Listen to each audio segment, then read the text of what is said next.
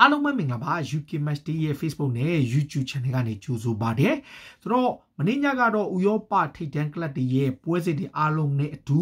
စပိန်ပြည်ဖလားပြိုင်ပွဲတွေလည်းကစားခဲ့တယ်အထူးသဖြင့်စပိန်ပြည်ဖလားပြိုင်ပွဲမှာပွဲချန်အဖြစ် Real Madrid ပွဲနဲ့ Real Sociedad တို့ရဲ့ပွဲကစားခဲ့တယ် Real Madrid အသင်းကတော့ဒီပြိုင်ပွဲမှာအောင်မြင်မှုအစဉ်လာကြီးတဲ့အသင်းတစ်သင်းဖြစ်ပြီးတော့ဒါ Zinedine Zidane အနေနဲ့ဒီပြိုင်ပွဲမှာဘိုးဆွဲဖို့ရေပန်းစားနေတဲ့အသင်းပါဒါပေမဲ့ Real Madrid အသင်းကပြီးခဲ့တဲ့ဂျားရက်တုန်းက Athletic Club Bilbao ကိုစပိန်စူပါဖလားမှာဆီမီဖိုင်နယ်ရှုံးနေခဲ့သလိုနောက်ထပ်ပွဲအဖြစ်ဒါတတရတန်းကအသင်းငယ်လေးကိုမထင်မှပဲရှုံးနေခဲ့လို့စပိန်ပြည်ဖလားပြိုင်ပွဲကနေထွက်သွားရပြီဖြစ်ပါတယ်။ El Coyano လို့ခေါ်တဲ့စပိန်တတရတန်းကအသင်းငယ်လေးက Real Madrid ကိုနောက်ကလိုက်ကစားခဲ့ပြီး တကိုးစီတီကြပြီးတော့မှအချိန်ပိုမှာအနိုင်ရခဲ့တာပါရီယက်ကသူတို့ရဲ့အထူးကစားမအများစုကိုအနာပေးထားပေမဲ့သူတို့မှာတောင်တင်းတဲ့ကစားမတွေအများကြီးပါခဲ့တာပါအသင်းငယ်လေးကတော့ဒါအချိန်ပိုမှာတယောက်ထုတ်ခံရလို့ဒီ10ယောက်17ယောက်နဲ့ကစားခဲ့ရပေမဲ့ရီယယ်မက်ဒရစ်ကိုတော့သူက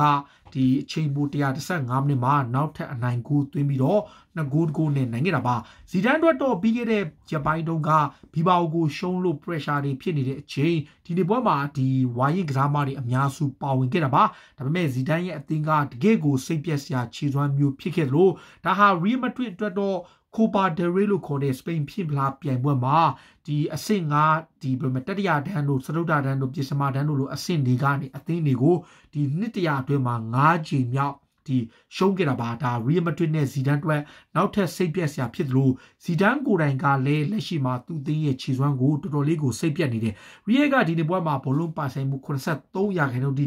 ရခဲ့သလို ဂိုးပေါက်ကန်သွင်းမှု26ကြိမ်ဂိုးပေါက်တဲ့မှု17ကြိမ်နဲ့အကြိမ်ကြိမ်ဂိုးသွင်းခဲ့ပေမဲ့ကန်ဆိုးခဲ့ပြီးတော့အသင်းငယ်လေးကတပွဲလုံးမှာဂိုးပေါက်တဲ့မှု3ကြိမ်ကနေ2ဂိုးရပြီးအနိုင်ရခဲ့တာပါဒီနေ့ပွဲရှုံးတဲ့ Real Madrid အတွက်တော့တကယ့်ကိုစိတ်ပြက်စရာရှိခဲ့လို့မိနစ်90မှာတီးကြခဲ့ပေမဲ့အချိန်ပေါ်မှာ Real Madrid ကတကယ့်ကိုထိတ်တန်းစီးရှိတဲ့ကစားမတွေဝင်လာခဲ့လို့ Toni Kroos တို့ Isco တို့ ဒီအဓိကကစားမတွေတော်တော်များများမှာ Eden Hazard ရဲ့ဒီ Benzema ရဲ့ Asensio အပါဝင် Toni Kroos တို့ကစားမတွေအများကြီးဝင်လာခဲ့ပေမဲ့ Real ကအသင်းငယ်လေးကိုမရှင်နိုင်ပဲရှုံးနေသွားကြလို့ဒါ Copa del Rey ပြိုင်ပွဲရဲ့ရှုံးထွက်32အဆင့်မှာထွက်သွားခဲ့ရတာဖြစ်ပါတယ်။ဇီဒန်တို့လည်းဖလားပြိုင်ပွဲနှစ်ခုကိုဇက်တိုက်ရှုံးသွားခဲ့တဲ့အတွက်သူ့အတွက်လည်း pressure တွေအများကြီးဖြစ်သွားခဲ့လို့ဒါ Real Madrid ရဲ့အနာဂတ်မှာလည်းမရေရာပဲဖြစ်သွားတယ်။ဒီချိန်ထဲမှာပဲ La Liga ဂျားပွဲအကြံနေဖြစ် ဂီတာဖေကဟူအက်စကာကိုဂိုးကိုမရှိနိုင်ပြီးတော့ Real Betis က Celta ကို2ဂိုးတကူနဲ့နိုင်ပါတယ်။တစ်ဖက်မှာတော့ Villarreal က Granada နဲ့2ဂိုးစီတေးကြလို့ဒါကဘယ်လိုပြောမလဲဒီလာလီဂါပွဲစဉ်တွေပါတစ်ချိန်တည်းမှာပဲ Real Madrid နဲ့အတူပဲတစ်ဖက်မှာတော့ဒီ Real Sociedad အသင်းကဒီ ဒီဘယ်လိုပြောမလဲ Spain Super Fla မှာနိုင်ပြီးတော့သူလည်းနောက်ဆင့်ကိုတက်သွားခဲ့တယ်။တခါဂျာမန်ဘက်ကိုကြည့်တဲ့အခါမှာဂျာမန်မှာတော့တန်းစင်းစုံတွေကရုံးထွက်နေရတဲ့ရုံးကန်နေရတဲ့ရှော့ကာကအင်ကွင်းမှာကိုလုံးကိုငကိုးတကုန်းနဲ့ရှုံးသွားပေမဲ့နမေကြီးဘိုင်ယန်ကတော့ဒါ Osberg ကိုအဝေးကိုမှနိုင်တယ် Robert Lewandowski ရဲ့တလုံးတဲ့တော့ penalty ကိုနဲ့နိုင်တယ်။အရှင်သင်းက penalty ရခဲ့ပေမဲ့အသုံးမချနိုင်ခဲ့တာပါ။ဒါပေမဲ့ RB Leipzig ကတော့သူတို့ရဲ့အိမ်ဘက်မှာ Forsberg ရဲ့တလုံးတဲ့တော့ဂိုးနဲ့နိုင်လို့ Bundesliga မှာသူတို့ဘက်ကလည်းအခြေအနေပြန်ကောင်းနေတယ်ဒါလက်ရှိနေထားရဒီဂျာမန်ပွဲမှာသူတို့အခြေအနေကောင်းတယ်တစ်ဖက်မှာတော့ဒါ CD ရဲ့ပွဲကြံဖြေအတလန်နာက Udinese နဲ့ကန်ရတဲ့ပွဲမှာအတလန်နာအသင်းကတစ်ဖက်တကူစီတေးချသွားခဲ့တာပါဒါကြောင့်လက်ရှိမှာတော့ဂျားပွဲတွေပွဲစဉ်တွေအားလုံးမှာတော့အသင်းကြီးတွေအချို့ကန်ဆိုးသွားခဲ့တာဖြစ်ပါတယ်တခါပေါ်တူဂီစူပါဖလားမှာတော့ Sporting Braga အသင်းက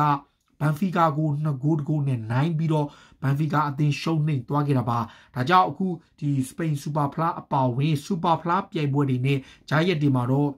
နမေဂျော်ရီယယ်မက်ဒရစ်အသင်းက2020-21ရာသီကိုပါဒယ်ရီလို့ခေါ်တဲ့စပိန်ပြည်ဖလားပြိုင်ပွဲကြီးရဲ့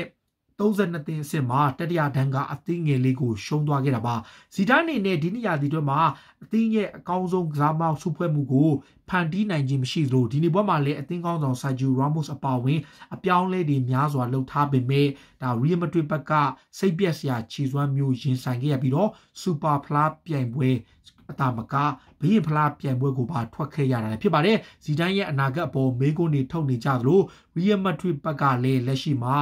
သူတို့အနေနဲ့လိုအပ်ချက်တွေများစွာရှိခဲ့သလိုဂိုးသွင်းခွင့်တွေများစွာရမှုကိုအသုံးမချနိုင်ခဲ့တာကြောင့်ဒီဒီပွဲမှာရှုံးသွားခဲ့တာလည်းဖြစ်ပါတယ်။ဒါကတော့စပိန်ဘီရင်ဖလားပြန်ပွဲမှာနမေကျော်ရီမက်ဒရစ်ကိုတတိယတန်းကလပ်လီကအနိုင်ယူခဲ့တဲ့ပွဲအပါအဝင်ဥရောပလိပွဲစဉ်တွေအားလုံးကိုသုံးသပ်ပေးခဲ့တာဖြစ်ပါတယ်။အားလုံးကိုကျေးဇူးတင်ပါတယ်ဗျ။